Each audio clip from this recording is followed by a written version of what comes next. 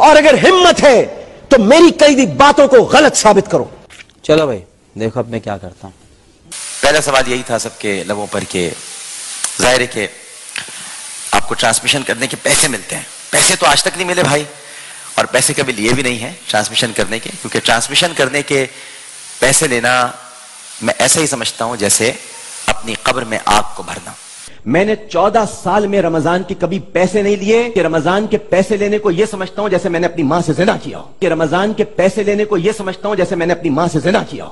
ایک منٹ۔ میرا ایک ایک روپیہ حلال کا ہے۔ ناطے پڑھ کے رمضان ٹرانسمیشن کر کے جو تنخواہ ملتی ہے وہ لیتا ہوں۔ تنخواہ پہ کام کیا تنخواہ پہ کام کرتا رہوں اور تم تو میرے پیسے بھی کھا گئے ہو۔ سارے پیسے کھا گئے میرے۔